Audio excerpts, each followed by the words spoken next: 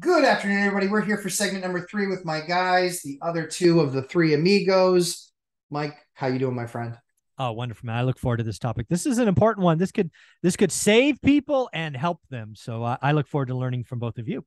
It could do both. Well, we'll we certainly will see. And Dion, how you doing, sir?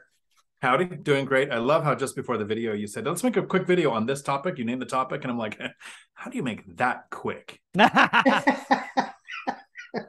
I think we can make it quick. So the topic of this video is going into a housing depression. What is the one strategy that we would do, and what is the one strategy that we would run from? So, Dion, I will give you first shot at this one, my friend. What's the one that you do? Let's do that one first. We're on limited time, so we'll keep it short. I'll be as brief as possible because I kind of touched on this in video one today. Sure. I would invest exactly how I did if I even had to start over and do it again now. I would keep my properties in small multifamily instead of a 10 unit in one place that's drawing tenants from all one source, possibly spread out more than 10 miles apart next to several economic drivers. So, a base, a port, a college, hospital, Boeing, Amazon, big company near you, a large population. And then I would diversify the tenant base. So one third military, one third Section 8, one third working or retired, trying not to have any one group of tenants that can be impacted by something like a prolonged government shutdown, pandemic, or stock market crash just decimate, decimate the entire portfolio. So that's the strategy I would use, as succinct as I can put it. Mike. The strategy I would avoid, yeah. and if, man, that's hard to pick because right now there's there's two, and I want to take both because one might be Mike's. No, do it. Take them both. All right. So the first one, BRRRR. I would avoid BRRRR at all costs right now, unless it was all my capital, right? And I didn't have to refinance, and I could at some point in the future to possibly benefit from it. But if you're using hard money or short money, I wouldn't touch a BRRRR right now.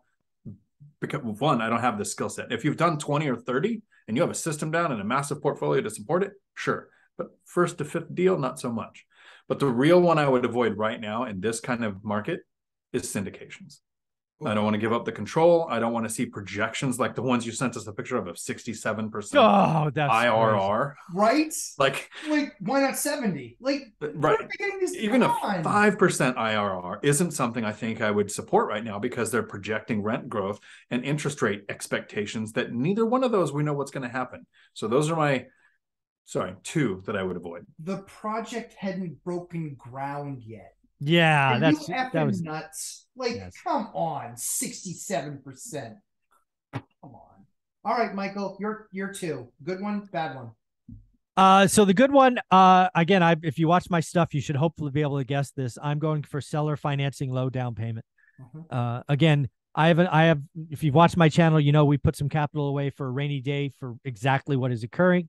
My intention is to use that most expeditiously as I can. For me, that means nothing more than 10% down. I will be trying 50, 40, 10s, 90% seller financing. I'm direct marketing. I'm telling agents my buy box is 10% down or less, cash flow day one, 30 year debt, rock and roll. Uh, again, I don't need every deal. I just need two, three, four. I'll be happy. So that's what I am doing. Uh, and again, that'll explode my yield uh, if we can do things like that. So that's that's 90% of what I'm doing the next two years. The things to avoid, I want to hit it again. There's two I will hit the bad ones. One is a repeat, as it should be, because it is so stupid today, and that is BRRRR. Yeah.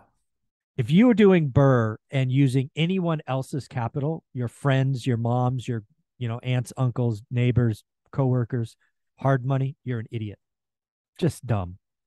The the LTVs are changing, the risk capital is changing, the the declining appraisal. It's just bad, just stupid.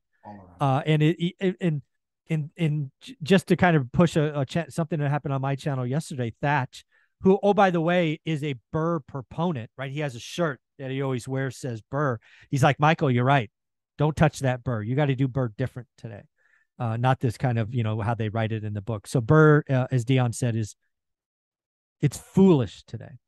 And then the second one um, is flipping above the median, right? If you're going to play in a housing market that is slowing down, and uh, with the move up buyers or ghosts and all of these things are going on it is very very foolish uh, to play above the median. Not that you can't do it it's just the juice isn't worth the squeeze. It's so risky today.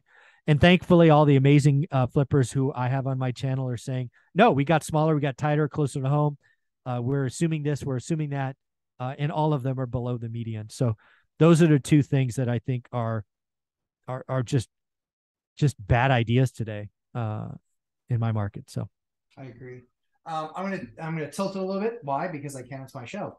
yeah, Um, and so my favorite strategy, actually, for the next probably 12 to 24 months, is a massive expansion of my units with Section 8 and housing vouchers. that's Karen? that is. Uh, I would not have guessed that if I had hundred guesses because if we go back forty five days, you were Yeah. I hate this thing. I really do. I really I there's many things I don't like about it, but my job in a very tough what I believe to be a very tough economy is preservation of capital. And so in the interest of preservation of capital, I will align with a guaranteed check over the hope of a check that might be 15% higher. Yeah, you are never uh, you know, having 30, 40% of your uh, cash show up on the first or the 31st is uh, not a bad thing. Nope. And that's the thing is it's preservation of capital. And the best way to do that is to get into that more uh, is to get in a more meaningful way into that into that space. So smart. Um, so smart. what's I appreciate that. What's but the the the other part that was the catalyst for that was the larger FMRs and then the 10% override.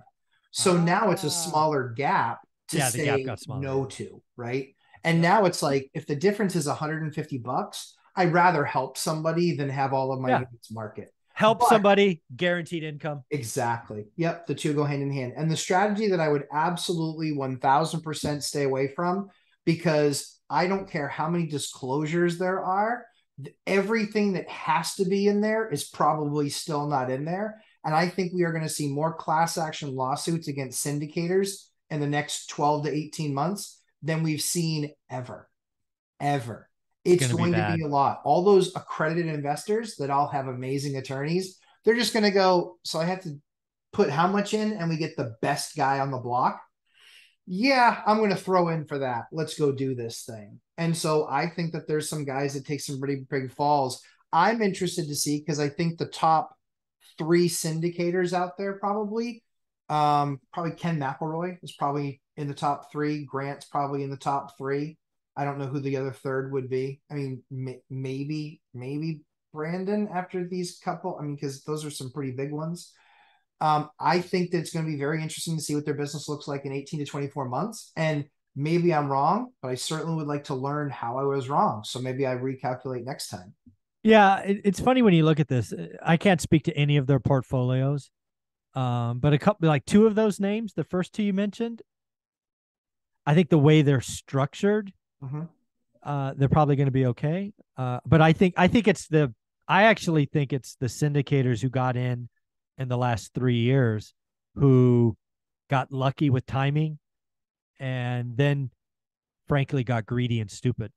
But what if it's the guys that so for me as an example, right? I ran it based on the numbers and it wasn't narrow margin, it wasn't a three cap rate. Like we're still talking, I was just doing the best deals I've ever done based on where the market was, what the rate was. And so I look at it and it's, you know, those 20% plus returns. Sure. I look at it for them and say a lot of their portfolios, I know Grant's basically doubled.